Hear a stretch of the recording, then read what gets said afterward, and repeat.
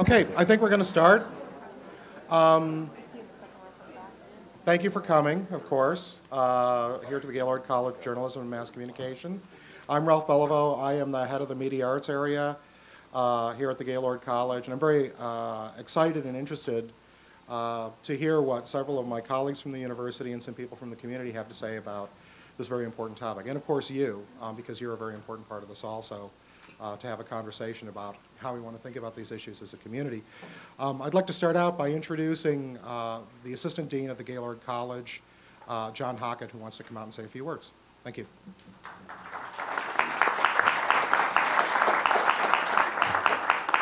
Thank you very much, uh, Dr. Beliveau.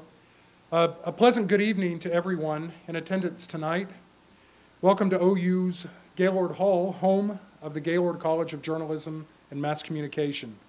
It's our sincerest honor to host this important discussion on OU's campus tonight. I can only believe we all come here as seekers, seekers of answers, of truth, ultimately seekers of justice. You don't have to look far to find examples of our country's desire for justice. Even our own American Pledge of Allegiance has the following closing statement with liberty and justice for all. Famed American poet, social activist, novelist, playwright, columnist Langston Hughes penned these words. He said, There are words like freedom, sweet and wonderful to say. On my heartstrings, freedom sings all day, every day. There are words like liberty that almost make me cry. If you had known what I know, you would know why. We need a Langston Hughes today to put into words what many of us are feeling. Maybe the next Langston Hughes is here tonight in this very auditorium. I sure hope so. We need you. Let me close my welcoming remarks with the sage words from the first century Roman philosopher Seneca when he said, Only time can heal what reason cannot. Welcome to Hands Up, Shot Down, an interactive discussion about Michael Brown. Thank you for your attendance tonight, and welcome to Gaylord College.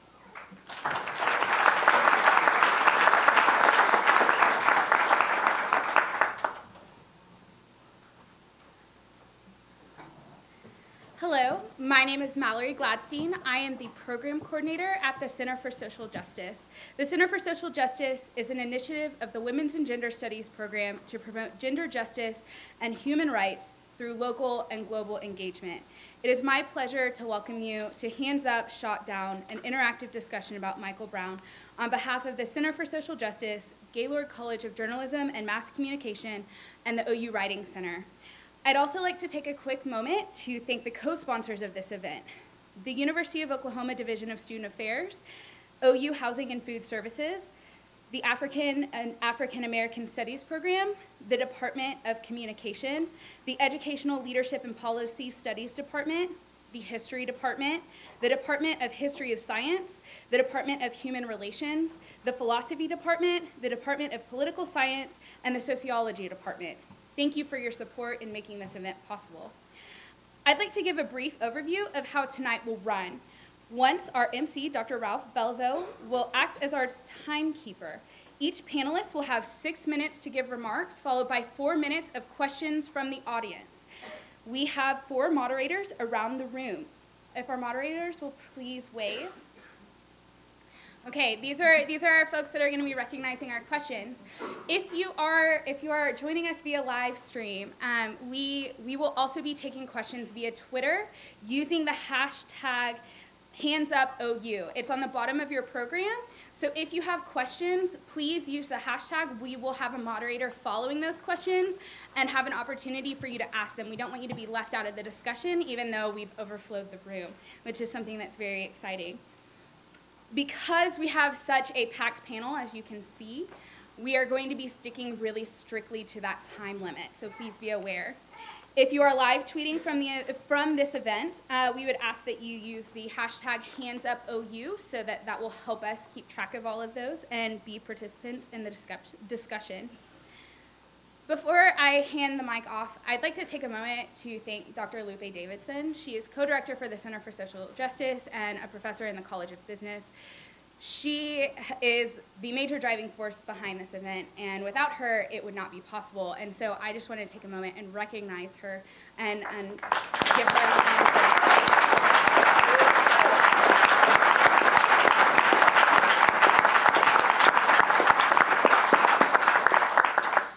And now, as we if, as we head into discussing a very, very emotional, a very raw, a very difficult topic, we're asking that everyone remember that it is a discussion, that you approach it with respect for one another and for the panelists who have chosen to spend their time here tonight. We ask that you approach the subject with with a with a sense of urgency, but an understanding of, of grace for one another as we're trying to uh, chew through something that's very difficult. And so now I will hand the mic back to Dr. Beliveau.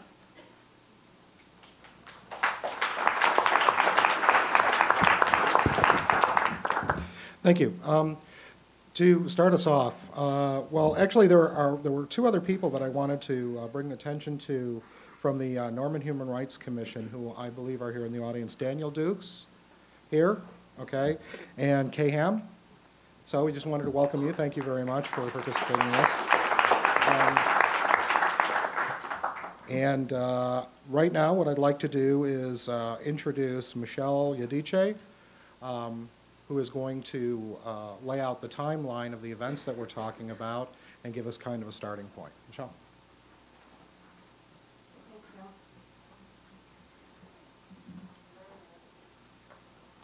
How many of you uh, gathered with us last year in this room to talk about Trayvon Martin case? It's, it's, uh, it's interesting that we have to gather again. As with other events that have brought our campus community together, this is a forum, a gathering that explores what is difficult to understand.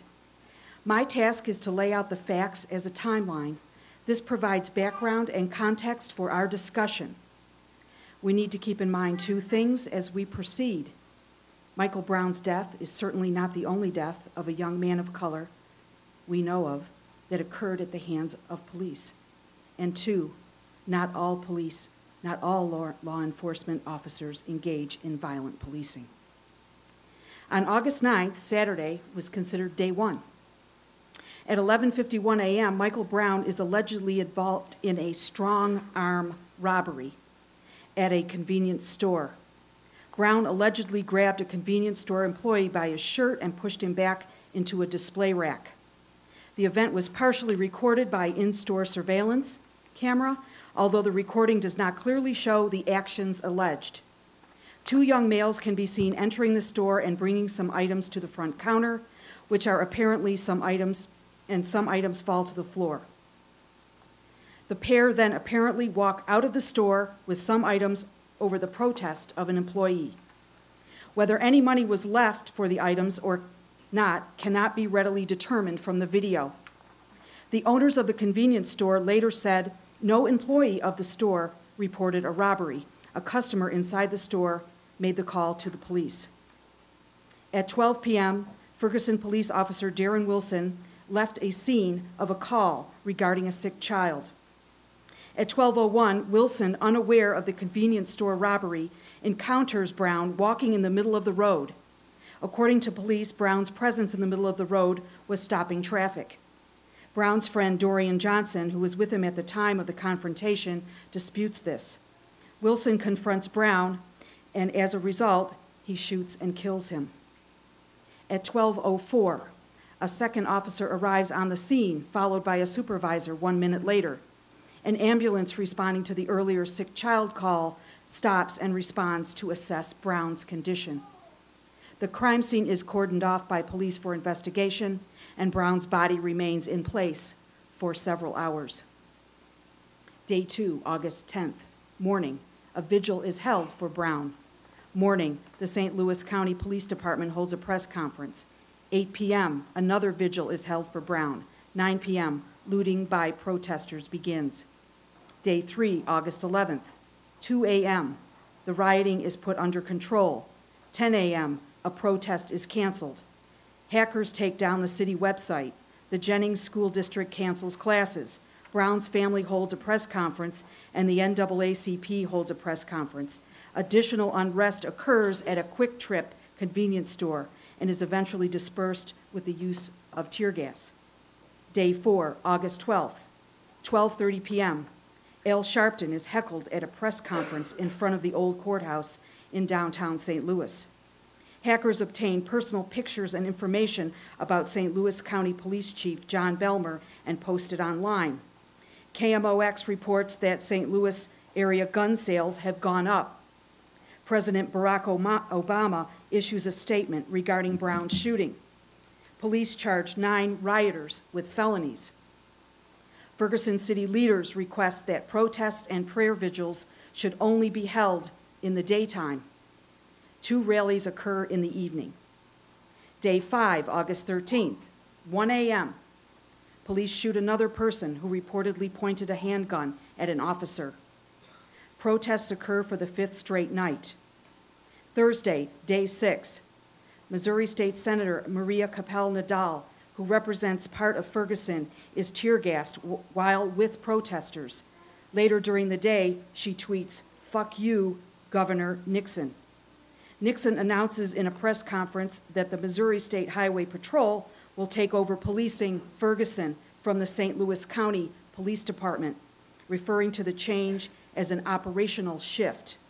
Day seven, Ferguson Police Chief Thomas Jackson holds a news conference where he simultaneously identifies the officer who shot Brown as Darren Wilson, as well as releasing an incident report naming Brown as the sus- suspect in a strong arm robbery of a Ferg- Ferguson convenience store. Day 8, August 16th. After midnight on the morning of August 16th, protests again turned violent with numerous instances of looting, where there are reports of at least three Molotov cocktails being thrown. The Ferguson market, in particular, is targeted by looters. Governor Nixon declares a state of emergency. 40 FBI agents arrive in St. Louis. Day 9, August 17th, midnight to 5 a.m. The curfew declared by Nixon is enforced, but a crowd initially defies it. Police use smoke and tear gas to disperse the crowd. A protester is shot during the encounter and is listed in critical condition. Day 10, August 18th, President Obama addresses the riots in a news conference in which he announces that he will be sending U.S. Attorney Eric Holder to Ferguson to monitor the situation.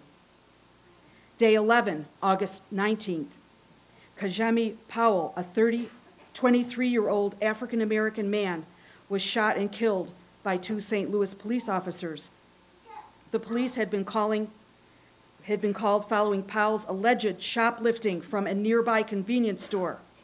Powell, who was holding a steak knife, told the officers, Shoot me now. Seconds later, two police officers fired 12 shots, killing Powell. Video captured on the scene shows the officers handcuffing Powell as he lay on the ground, perhaps already dead. St. Louis Police Chief described the officers' actions as defending themselves and quoted an unnamed witness who described it as suicide by cop. 47 people are arrested on this day. Day 12, Lieutenant Ray Albers of the St. Ann Police Department was suspended indefinitely from his duties after pointing a semi-automatic service rifle at peaceful protesters and threatening them the night before.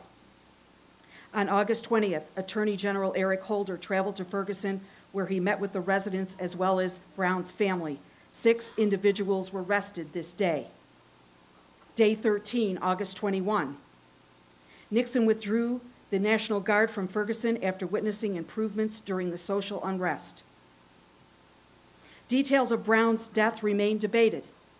Police officials claim the struggle developed between Wilson and Brown, but witnesses say otherwise. Following the local reactions, national figures have responded as well, including Al Sharpton, who said, The policies of this country cannot go unchallenged. We cannot have aggressive policing of low level crimes. Sharpton said Monday, We need Congress to have legislation about guidelines in policing. Hillary Clinton also offered a statement We can do better. We cannot ignore the inequalities that exist in our justice system. inequalities that undermine our most deeply held values of fairness and equality. Thank you.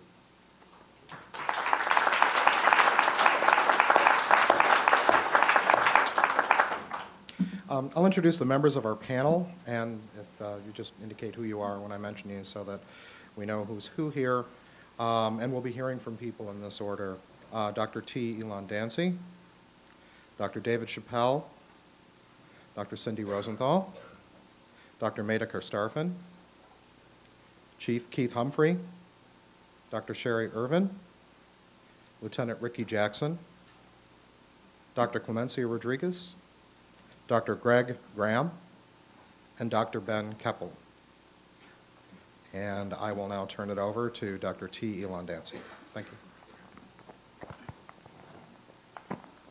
Thank you. I'd like to begin by uh, thanking Dr. Lupe Davis and the OU Center for Social Justice and the other sponsoring organizations for uh, inviting me to be a part of this, uh, this panel. And thank you all for coming. Can you all hear me in the back?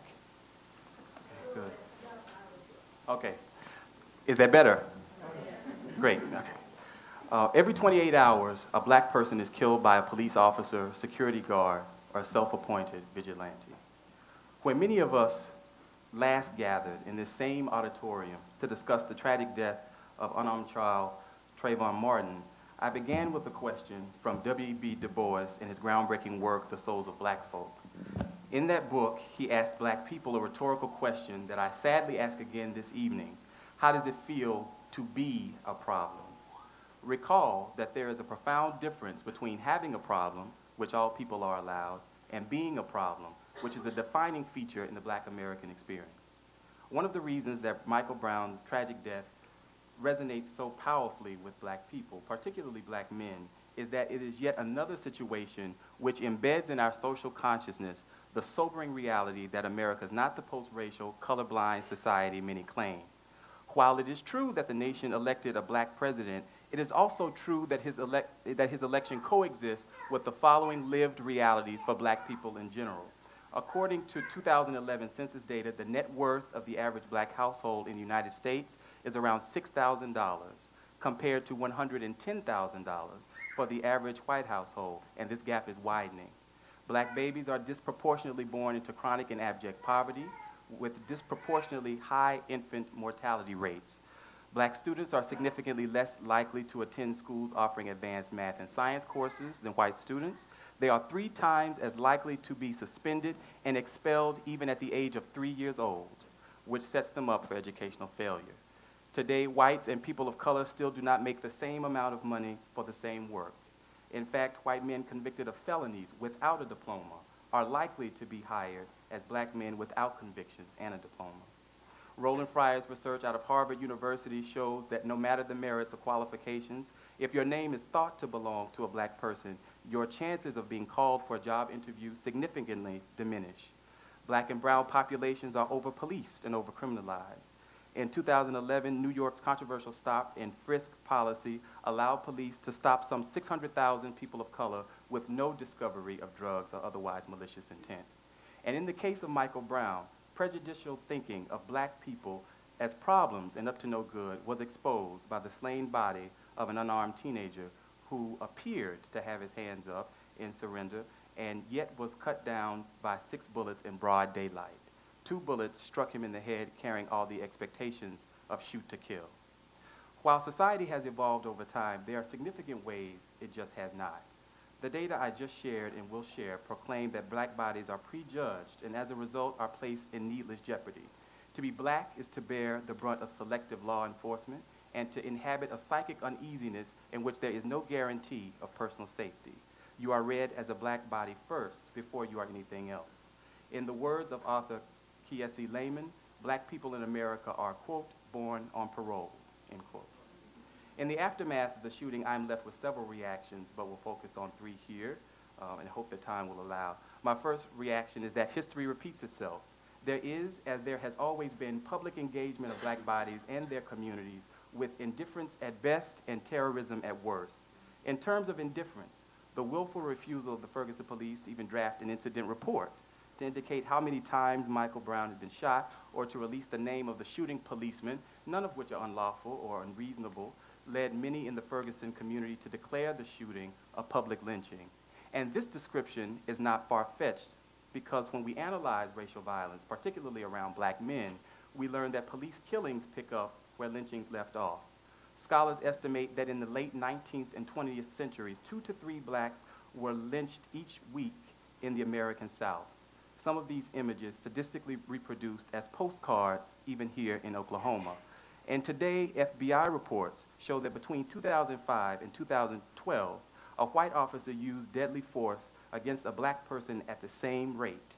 And again, um, a recent study from an independent organization notes that almost every 28 hours, a black person dies at the hands of police. If your immediate reaction is that the force is justified without question, consider the following data. Among blacks killed by police, nearly 50% are likely to be ages 18 to 21, nearly 50% are likely to be unarmed, and nearly 50% are likely to follow an incident of racial profiling. That is, an incident where the interactions began with police belief that the black person looked suspicious and attempts to restrain him or her resulted in a killing. And perhaps unsurprisingly, an astounding 88% of these cases are found to use excessive force. Black male death at the hands of police is hard to track in national reports. However, what we know from FBI data is that young black men are frequently victims of police homicide, and that the less clear it is that force was necessary, the more likely the victim is to be black. And I want to repeat this. right? The less clear it is that force was necessary, the more likely the victim is to be black, and that is FBI data. Additionally horrendous is that the lifeless body of Michael Brown baked in the hot sun for hours in the neighborhood. This moment is one of countless moments that loudly proclaims the irrelevance of the black body unto and even beyond the point of death. The desertion of the body is an indictment on the poor black neighborhood in which Michael Brown lived, a commentary on the area and its inhabitants. In this wasteland, you see, the motionless body requires no deliberate speed and is left to clutter the street like litter. Never have I known police anywhere to leave the body of anyone they kill in a white neighborhood for hours. And there's a recent study um, to support that observation.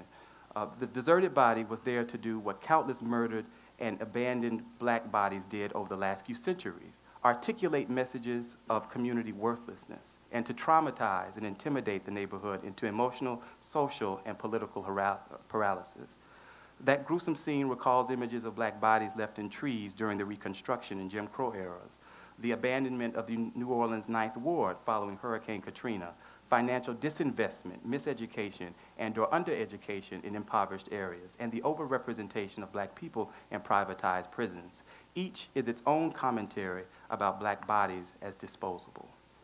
My second reaction is about the role of respectability politics and the naive beliefs of many people, including black people, that if only Michael Brown possessed a respectable presentation, that this would implode a national obsession with killing black people. Respectability politics says that Michael Brown, not Mike Mike, as he was affectionately called by friends, should have not been at the store in the first place, should have shown more reverence to elders, should pull his pants up, should have never been walking in the middle of the road, should have complied with the police officer's demand without comments and without looking up, should have been wearing his Sunday best on Saturday, should be more respectful, and should speak the king's English to the queen's taste. Respectability believes that rule following, wardrobe, education, class standing, traditional families, and political progress will save you. This is a mistake, proven untrue across not the years, but the centuries. Dr. Martin Luther King Jr. is often celebrated above and beyond Malcolm X as the more respectable black leader, yet both were assassinated as enemies of the state. And for those who still believe that your respectability can save you, recall that Dr. King was shot down in a black silk blend suit. The reality is that American social institutions have for decades been infected with a mindset that black people are problems to be dealt with, managed, and controlled no matter the presentation. Even nonviolent black males are understood as possessing violent tendencies, whether sagging their pants or wearing a suit. If this sounds far-fetched, let me remind you of conservative commentator Ben Stein's recent remarks.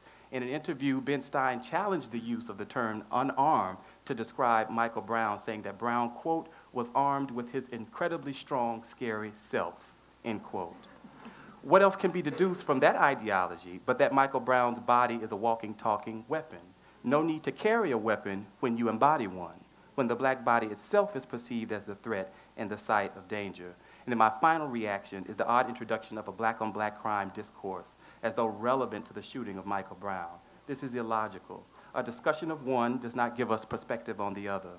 At best, what is behind this effort is the assumption that black communities judge black lives to be so worthless that their communities are unjustified in questioning any shady dealings of police, even though police are expected to protect and serve all citizens. At worst is the attempt to distract us from seeking justice for Michael Brown, the people of Ferguson, and the police. I imagine that black people are not happy about black on black crime, which is why there are several organizations attempting to address this nationwide. However, a decrease in black on black crime does not indicate a decrease in police on black crime. It never did. Furthermore, these conversations are statistically meaningless as all groups are most likely to kill in proximity, that is, people who are around them in their neighborhoods, networks, and circles. While black people kill other black people at a rate of 90%, white people kill other white people at a rate of nearly 85%. And according to researchers, this 5% difference means that when white people are not killing other white people, they are more likely to be the killers of other groups of color than they are to be killed by them.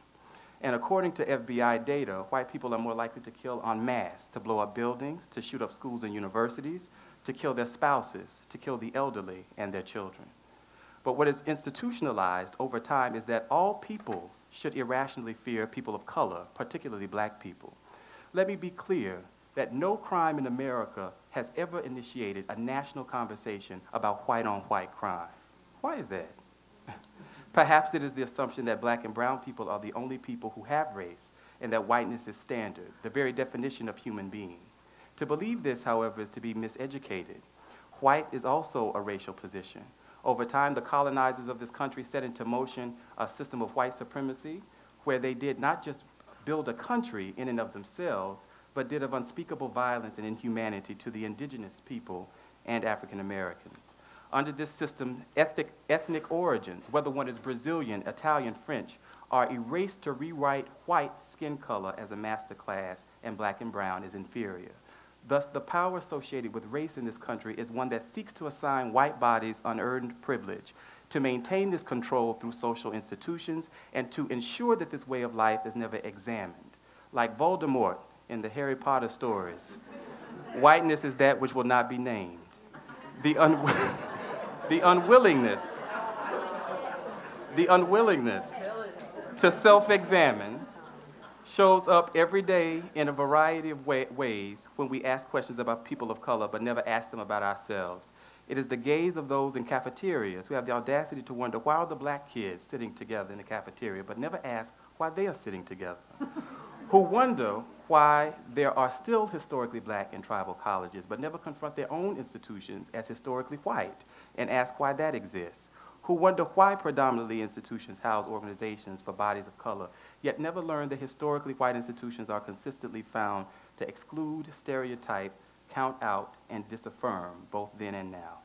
The aversion to self-examining keeps them from understanding historically white spaces of any kind is violent and unwelcoming, and subsequently blinds them from seeing any togetherness among people of color as recognition that there's safety and security in numbers. Um, and I suppose I, I am I I'm, I'm sorry. I'm sorry. I'm sorry. We'll Got talk me- more. The the Voldemort thing got me, so, okay. excellent. Okay. Um, Maybe I should stop for questions. Yes. Thank you. We have time for a couple of questions.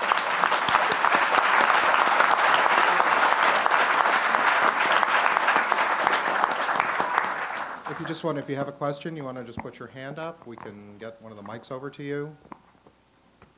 Um, um, Or you can tweet the question if you'd like to do that also. Um, Or we can just, you, should we proceed? We Move forward? Okay, we'll move forward. Um, our I'm next sorry if I took up the question time. Oh, no, that's okay. Probably took it. Do do you have?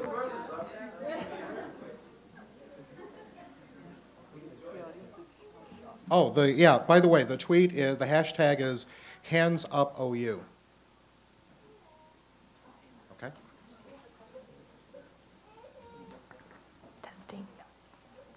I think all those facts in erudition re- require some kind of response.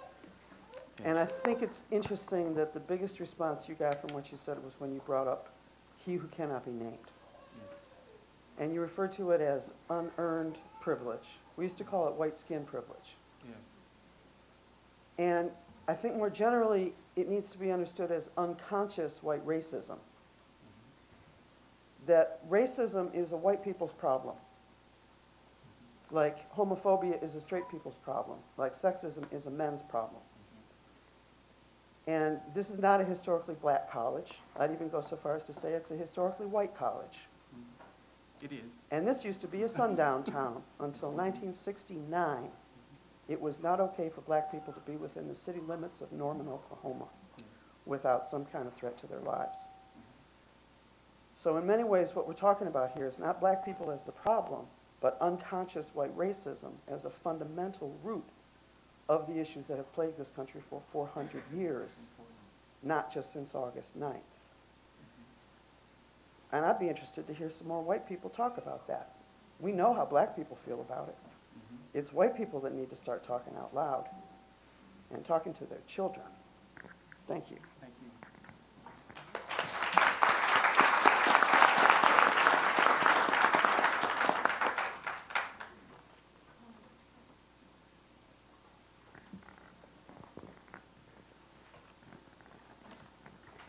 Dr. Dancy, great job. Um, I have a question regarding uh, the reverse method. Do you have statistics that show where uh, African-American officers are shooting white um, teens? Do you have any type of information or statistics on that? No, but when you talk about uh, black police officers, you're not talking about very many, right? So if you um, looking at a national number, you're looking at 10% or less of Right, police force, right? That's um, black. But when you find the data, you know, let me, No, let I, I was know. just curious, I was just Yeah, curious. um, no, no, no, no. And if you, and I, I,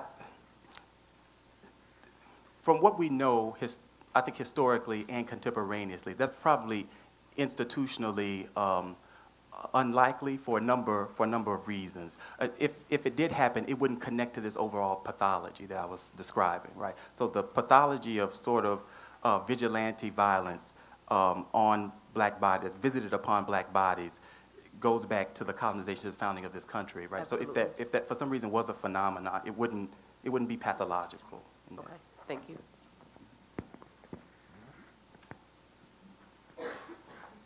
Um, Okay, I think we'll move forward, and uh, because this will turn into a conversation about a lot of these going across our speakers, we'll move on to Dr. David Chappell. Well, um, thank you very much, Ralph, and I want to echo Dr. Dancy's thanks to Dr. Davidson and other organizers of the panel, and thanks to all of you sitting in the room and uh, watching in other rooms um, for being here on this uh, solemn occasion. I am, uh, I teach history here at OU, and uh, it's my task to try to um, introduce a little historical background. Um, Dr. Dancy already did quite a bit of that. Thank you very much. Um, I'm going to zero in on some constitutional questions. Um, equal protection of the laws is a phrase that is added to the Constitution in 1868 with the ratification of the 14th Amendment uh, three years after the end of the Civil War, three years after the uh, abolition of slavery. Uh, equal protection of the laws is what every person uh, is guaranteed under the United States Constitution from that point forward. The word protection has had a very, very broad uh, and powerful meaning, but in cases like the one in Ferguson, Missouri, that's uh, impelled us all together here today, uh, it's actually one of the most uh, conservative and, and uh, uh, unadventurous meanings of, of equal protection. It's a, it, it appears, well, it appears as part of a pattern, whatever the particular facts of the case are, and I think it's, I think we'd all agree that not all of those are in. Uh, but there is a pattern of uh, racial discrimination in the criminal justice system. There are patterns of racial discrimination, and I'm guessing that a lot of us are here, uh, well, many of you have said, um, it's, it's a pattern. Uh, there are patterns that, that bring us out, whatever, uh, you, you know, whatever the peculiarities of this case may be, and all cases are, are peculiar. Um, the equal protection of the laws added to the Constitution in 1868 is the first time that human equality is mentioned in the United States Constitution. The original document ratified uh, in uh, 1789 um, uses the concept of equality once, and I always like to see if anybody knows. It doesn't refer to people, I'll give you that. Who, grant, who is granted equality in the first, uh, in the original Constitution, up to and including the years of the Civil War, and still to this day? Anybody know? Uh, that's not in the Constitution. It's states in, uh, in the Senate. In fact, it's one provision of the Constitution that is protected, that is currently protected from amendment. The old protection of the slave trade was temporarily uh, protected from amendment also. Human equality is, of course, in the famous Declaration of Independence written by uh, Thomas Jefferson, among other things, a slave owner. Um, but it is not in the Constitution. Uh, it doesn't get introduced to the Constitution. It's a very re uh, revolutionary step, arguably as revolutionary as the abolition of slavery in 1865 in the 13th Amendment. Um, equal protection of laws is added to the Constitution three years after abolition in a climate of racial violence, racialized violence, uh, attacks uh, on the freedmen, uh, the four million uh, former slaves and their families, um, as well as the smaller population of free persons of color, or free Negroes as they were called, who had been free, very small population, free before uh, the Civil War, before abolition of slavery, but who were still denied citizenship by the Supreme Court in the Dred Scott decision of 1857. The 14th Amendment wiped all of that out um, as an effort to reinforce, to guarantee the success of the abolition of slavery. What was perceived to be going on by uh, the party that uh, held the majority in Congress and that uh, mustered uh, supermajorities in uh, three quarters of the states to ratify the amendment. Uh, the, the belief was that the leaders of the unreconstructed southern states were trying to pull the country back towards slavery and nullify the result of the Civil War. Uh, Congress passed a Civil Rights Act, the first Civil Rights Act, much of it still uh, in force today, in 1866, and that was so systematically violated in the southern states that Congress and uh, supporters around the country felt it was necessary to add another amendment and actually to revolutionize the, the, the, Constitution and turn it into a proclamation of human equality, which it had not been before. Most of the slave owners said that the Constitution had been written to protect slavery. I think most, slave, uh, most, excuse me, most, uh, most historians uh, would agree that that was uh, certainly one of the aims and one of the purposes of the Constitution that was finally settled upon. The abolitionists, on the whole, agreed that uh, the Constitution, before it was rewritten in Reconstruction, was a pro-slavery compact, uh, William Lloyd Garrison's words. Frederick Douglass incidentally disagreed with that. He thought there was still a principle of equality and freedom somehow pulsating in the Constitution. That's an interesting uh, debate and discussion. Uh, but this amendment guaranteeing equal protection of the laws has been the most controversial legacy of Reconstruction. It was, reconstruct, uh, it was uh, controversial, violently controversial, to the extent that um, Congress passed another civil rights law in 1871 to help stamp out the uh, the terrorist organization, the Ku Klux Klan, that uh, was tied to the Democratic Party in the southern states, that intimidated uh, with violence uh, members of the Republican Party, that's the overwhelming majority of the freedmen, uh, and lots and lots of white people also uh, were attacked by the Ku Klux Klan. The, the federal government intervened on the strength of that act, prodded by uh, political agitation and outrage of the citizenry who felt that the result of their sacrifice in the Civil War was being trounced by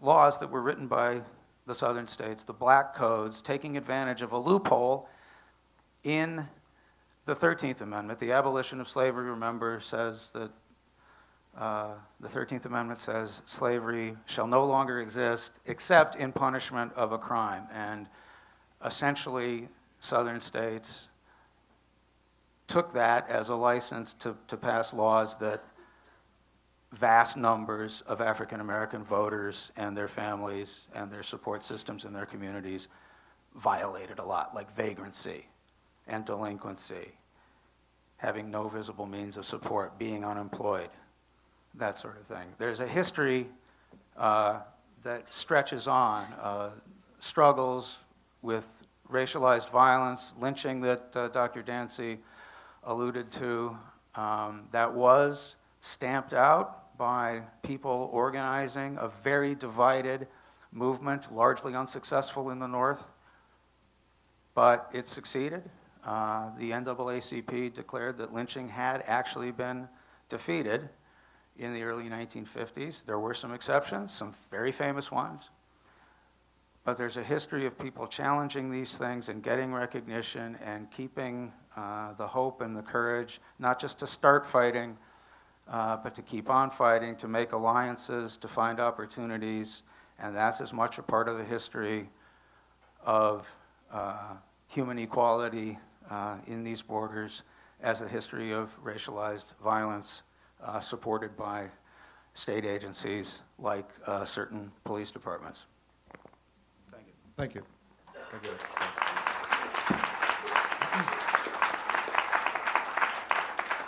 Um, Any questions from the audience?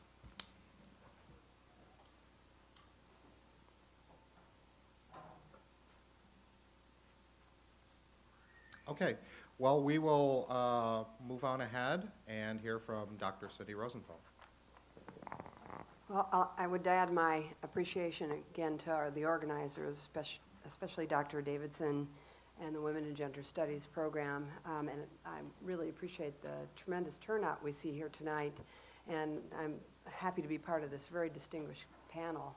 I do teach in the political science department here on campus, but I'm going to speak tonight in terms of my role as the mayor of the city of Norman. Um, And the question that I um, uh, sort of asked myself uh, in uh, thinking about my remarks is to ask the question, could Ferguson happen here? Um, How do you work toward, to avoid uh, such a situation happening in a community? Um, How do you build an inclusive community? Uh, And that is a question that actually motivated me a great deal when I became mayor in 2007, and I became aware of some initiatives in some other communities to proactively try to build an inclusive community. Uh, That's been uh, something that I tasked our Human Rights Commission to work on. Uh, Two of the members are here tonight, but that group has worked on this issue since 2007. Uh, They've worked frequently in partnership with our police department um, as active participants in these various dialogues. And the basic concept is, is uh, around dialogue. And what we're doing tonight is, I think, also a reflection of the importance of dialogue because it's through these kinds of conversations that uh, you make progress, you learn, and you begin to build a climate of inclusiveness. Uh, the Human Rights Commission in Norman has, um, um, I forgot to turn the timer on, sorry about that. Um, the Human Rights Commission in Norman has uh, been very intentional in trying to reach out to populations in our community who often are invisible, uh, often feel excluded, uh, and that has included conversations with uh, very rural parts of Norman, Oklahoma, that uh, intentionally reaching out to the GLBT community, uh, the Hispanic community. Uh, They've worked in just the past year uh, in dialogue with people in our community who uh, confront barriers because of disabilities that they have. And this year, the, the commission has uh, uh, taken on the task of being in dialogue with many other groups in the city of Norman uh, who are really concerned about the issue of poverty and homelessness. Um, this is work that is uh, uh, imperfect. It is work that has lots of bumps along the road, uh, but I think that it has been uh, uh, work that has changed uh, our community. I can say with confidence that Norman is no longer a sundown community. I can say with confidence that, that Norman is not a Ferguson, but I also am confident that we have lots of work to continue to do. Um, in 2008, uh, we also, as a council, uh, dedicated ourselves and asked our voters to commit themselves to support a, um, a new public safety sales tax with the primary purpose of um, bringing community-oriented policing to our community. That is a philosophy, and the chief may speak to this uh, a bit more, but it's really a, a very different and fundamental kind of philosophy of policing that is in partnership uh, with the community and builds partnerships with the community and really tries to move away from some of the tactics that were predominant um, uh, at, at another point in time. Uh, That effort is ongoing. Uh, Again, uh, the, the chief may speak to some of those specific efforts, but they, they really uh, are aimed at moving uh, out from uh, behind uh, the, um, the, the, the, the car, from behind uh, the, the barriers, and be, trying to be in conversation and to learn about the issues that confront people in our community. Um, I know the chief has also been very committed to trying to diversify our police force uh, through recruitment efforts, and that's uh, looking at gender, race, ethnicity. Uh, uh, we just commissioned our, our first um, uh, Muslim American police officer, and, and that's an effort to really reflect in, in, in more ways the kind of community that we have here in Norman. So what have been the results of some of this effort?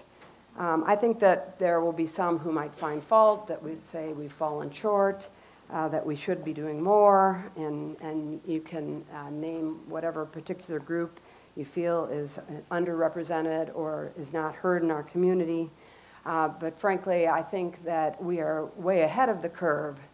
In preparing my remarks for tonight, I looked at um, uh, some of the res- community responses to Ferguson, and there was a common theme of, of places in uh, around the country that were starting to create dialogues like this one in order to be proactive. And I thought to myself, well, we've we've been trying to do that, and um, so we're ahead of the curve, at least in trying to to move the needle on um, on building relationships. And it's only through relationships that I think you prevent the kind of uh, disarray and uh, uh, the, the, the, slope of, of, activities that Michelle uh, read to us in the daily timeline of what happened in, in Ferguson. Uh, you, you can't start talking after things happen. You have to be talking before things happen. Um, so, um, have we a, a, a way, long ways to go? I think every community does. Uh, and, uh, but I think that the path to realizing positive partnerships and building a, a, welcoming and inclusive community is through events like this and through the efforts of our Human Rights Commission. And I urge you to get engaged in those beyond tonight's event uh, to be part of uh, the, building a community that we can all be proud of in Norman. Thank you.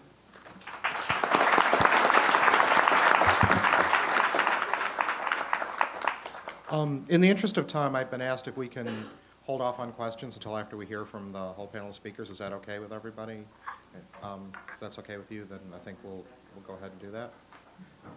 Uh, next, we'll be hearing from Dr. Meta Carstarphen.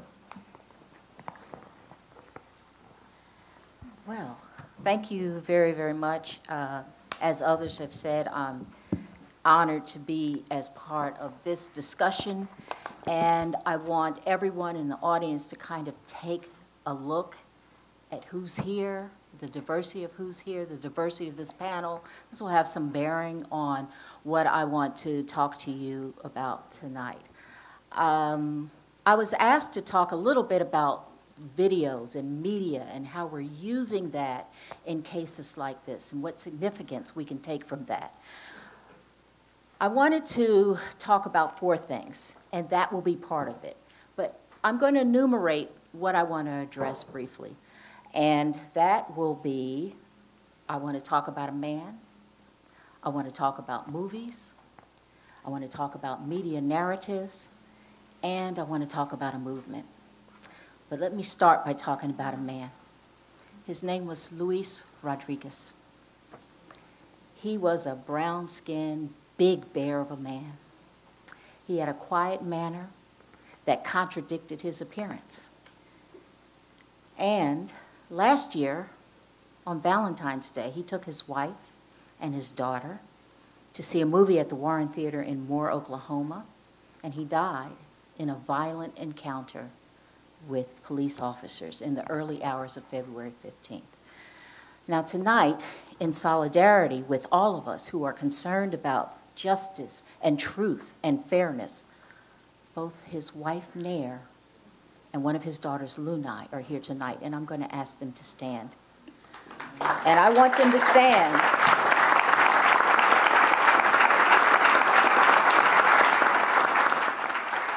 And wave your hand, girl. We need to know that there are human beings behind these kinds of stories. And they also need to know that there's a community conversation about who we are fundamentally as a society, and that they are part of that conversation and should be part of that conversation. Also joining them is a, a couple of proud OU alums who are part of their legal team. Mr. Kenyatta Bethia, you would stand, wave your hand. Marcus Bivens is assisting him. And as a team, they have much to announce in the future about this case.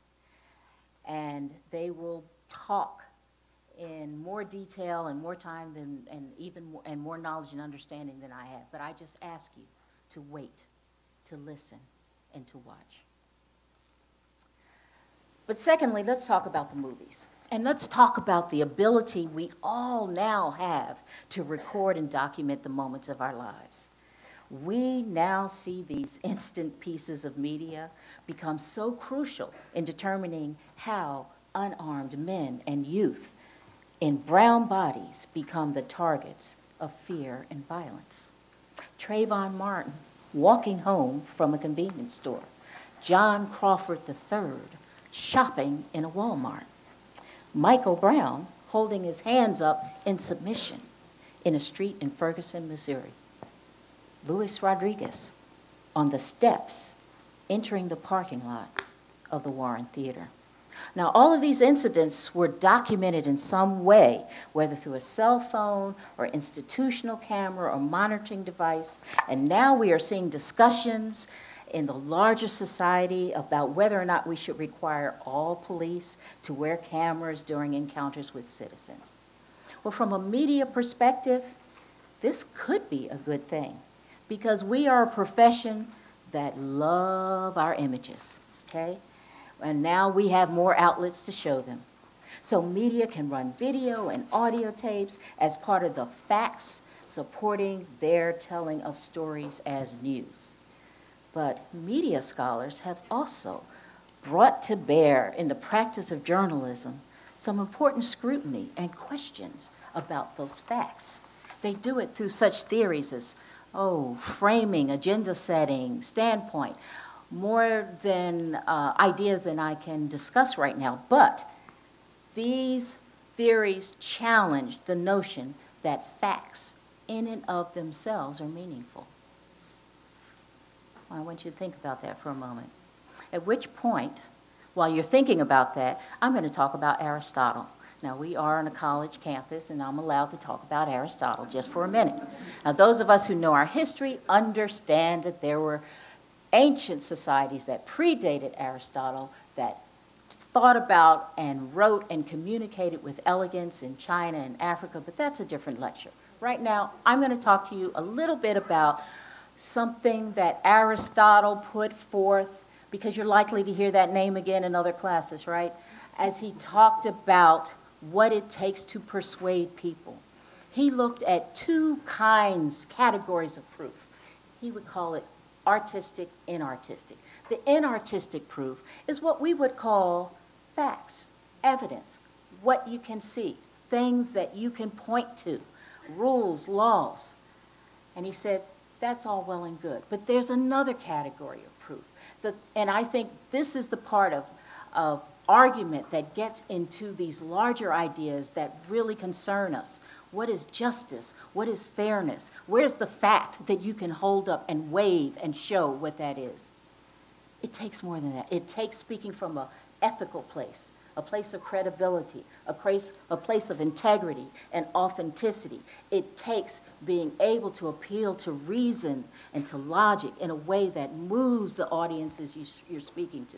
It also takes emotion and the ability to connect with people. You put all of that together, you just might have a chance to persuade somebody. So now let's get back to all these videos and audio tapes and other types of evidence that we have. If we show a video of a man on the ground being beat by other men standing over him, are we watching an assault of an unarmed, defenseless man, or are we watching an appropriate response to a threat in our society? That is the question, and that does not get answered by the showing of a video or the hearing of an audio tape. It gets answered by narrative, by voices, by people like us being willing to enter into conversation with other people not like us about the meaning of the days that we live, the nights that we experience, and the type of community that we want to live in. We can't be silent. We, each one of us, has a stake in that conversation because the us and the them of a particular battle is going to change. Today, it's Michael Brown. Who will it be next month or next year? So, facts in and of themselves have no agency, which brings me to media narratives. So, we need to be participating in that kind of conversation. And how can we do it? I think it begins with a decision. For instance, and I'm going to just throw this out as I transition to talk about my final point of movements. Here's my prop. This is a $20 bill. This is about what it would cost me to go to see a movie at the Warren Theater and maybe, if I'm thrifty, get a little popcorn or a drink or something, okay? Maybe if I get in there at the matinee. Now, one day, after Luis died, I said, no, not today. I'm going to do something different. When I thought about going to the movies, and I go somewhere else. Now, I'm not saying that the lack of my $20 is something that anybody notices. But I wonder if my $20 joined with your $20, joined with your $20, yours and yours, would that bring about a conversation from, say, the Warren Theater, which has been silent to this point, about who they were protecting and why. Just asking you to think about that. I'm not saying don't go to the movies. I go to the movies. But can we be intentional? And that's why I ask you to think about hashtag no more movies and talk about what you're choosing to do instead of spending your $20. Think about it. And the last thing I want to throw out to you, an idea of a movement, is that we lurch from episode to episode.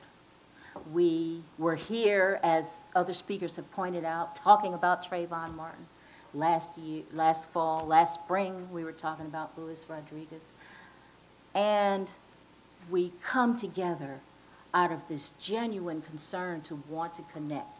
But what if there was a mechanism for us to do this on campus, students? And what if we had something say, oh, call it, I don't know, the Justice League? I'm not talking about the superheroes. I'm talking about the real potential heroes in each one of you, an organized, at the ready, community organization that says, we're going to be here to formulate responses, to show our concern, to share resources, and not have to scramble every time we do it. I don't know. Could that work? If it could work, what would happen if this were at OSU? If this were at OBU? Oh, and what would happen if it crossed the border? And now we're talking about UT Austin and A&M. Oh my goodness, and what if we got out of the region? And nationwide, there were justice leagues of people concerned and willing to be in conversation about the type of society we want to live in.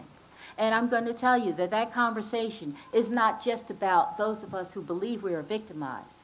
It has to include those who we think are the victimizers.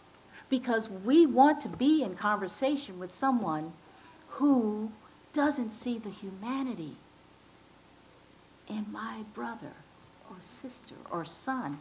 I want to know what happened to you that you can go in a Walmart and look at a man buying a toy gun and call him a threat. I want to know because that's a problem and we need to talk about it. And maybe it's something that we can all work together on. So I want you to think where we go, think about where we go from, that, from here. And don't rely on the media story of the moment to carry you through. We have to be more strategic than that.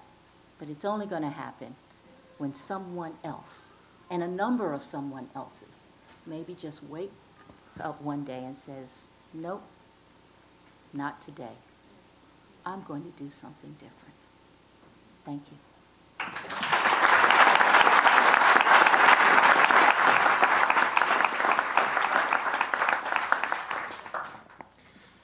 Thank you, Dr. Carstarphen. Next, we will hear from Chief Keith Humphrey.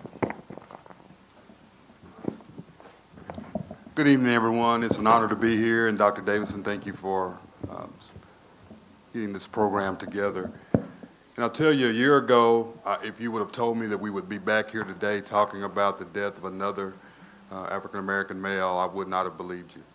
Uh, I would have, I would not have wanted to believe you. Uh, it, it's very, it is very sad. But one of the things that I want to, I want to talk to you all about is that Mayor Rosenthal mentioned community-oriented policing and an inclusive community. Let me, let me explain what I mean by that. The citizens, number one, they have to have an open heart. You got to have an open heart. Just like the police officers have to have an open heart. There has to be an open mindset on both sides. There has to be open eyes. Your eyes have to be completely open. There also has to be open mouth dialogue between multiple groups. The last time I did some research on communication, you have to have a message. The message has to be spoken, it has to be received, and there has to be feedback. So you can't just have a message and you can't perceive that someone understands what you're doing or what you're thinking. And also, you must have vision. Vision has to be on both sides. One of the things that I, I tell my guys on a daily basis, or on a weekly basis, or on a regular basis, is that we cannot look at problems through the eye of a needle. We have to look at we have to look at the community and problems through the eye of a hula hoop. Now think about that. The difference between a needle and a hula hoop is different. And you have to look at you have to look at you have to see the big picture. Um, it's my responsibility as a police chief, or any police chief's responsibility, to set the tone for his department and also set the tone for the community. We have to be open. I have to be open each and every day. I have to ensure that, number one, each and every one of my officers is colorblind. And I, has, and I ask the community to look the same, to, to have the same view. We do not, and we should never serve a community, just certain sections of the community. One of the things that, that we, we talk about in our department on a regular basis, it doesn't matter if you, if you're homeless, it doesn't matter if you live in a 20,000, 20,000 square foot home. Everyone deserves the same quality service. We tell our guys on a regular basis. We only exist as an organization, city government, police department, public works, whatever department you may, you may refer to, we only exist because our citizens allow us to exist. Now, why would you not want to provide, as a police department or as a police chief, why would you not want to provide top quality service to your citizens? And as citizens, why would you not expect that same in return? Okay? The thing that I want you all to understand is it is not difficult to have a colorblind community if you have both entities, being city government and the community, demanding the same thing. You all owe, we, you guys have a, have a responsibility to hold us accountable, okay? You have that responsibility. Let me, let me give you a little story about, about myself. Before I came to Norman, I was the police chief for the city of Lancaster. Lancaster is similar, Lancaster, Texas, which is similar to the city of Ferguson in makeup, population, demographics. Lancaster is 71% African American population. The police department was 85% white.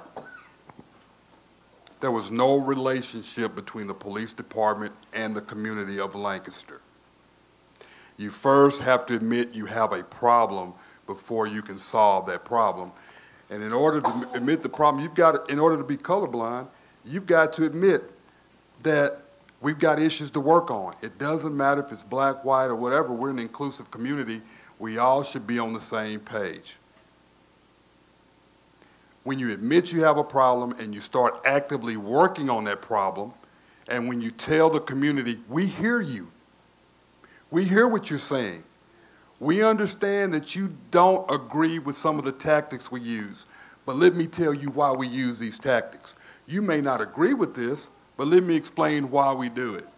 We're not expecting everybody to, to agree with us, but we do owe everybody an explanation of why we do the things that we do. The other thing is, we tell the citizens we want to fix it, and when we have to listen, then the citizens have to listen to our needs also. We have to admit that we want to work together. Okay? A puzzle. 250 pieces of a puzzle. You can't tell what this is a picture of. You can't use 249 pieces of the puzzle to get a clear picture you have to use 250 pieces of the puzzle to get a clear picture. Number two, there's 121,000 citizens in the city of Norman. There's 35,000 students on the campus of OU. There's 170 officers in the city of Norman. Everyone has to work together. We have to be open to the needs of the citizens. The citizens have to be willing to listen to us we have the right, you have the right to ask us, or you have the right to disagree with us. But the thing that I ask each and every one of you all to do in order to maintain a colorblind community is let the picture be clear. When you don't understand something, ask the questions. How do you ask the questions? How do you find out if the pictures are clear? We have programs, the Citizens Police Academy, one of the best programs since community-oriented policing was, was, was uh, uh, founded.